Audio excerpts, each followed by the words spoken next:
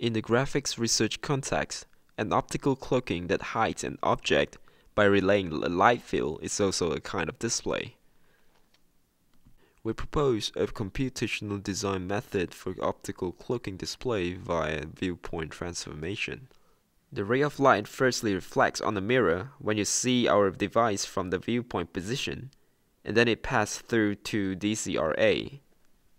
The area between the front and back mirror is used for cloaking. Any objects in the area are cloaked by the front mirror. The rear views of the front mirror is reflected on it, thus you can see the mirror as if it is transparent. Our display can mix multiple materials on object surfaces.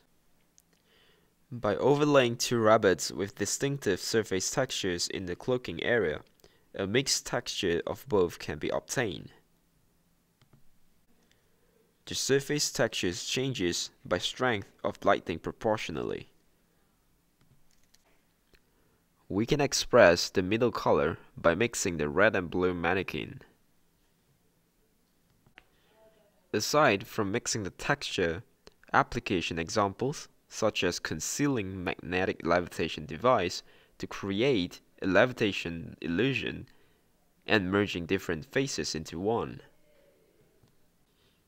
A designed display has features that are view independent, corresponding to a broadband wavelength and achieving a large size cloaking.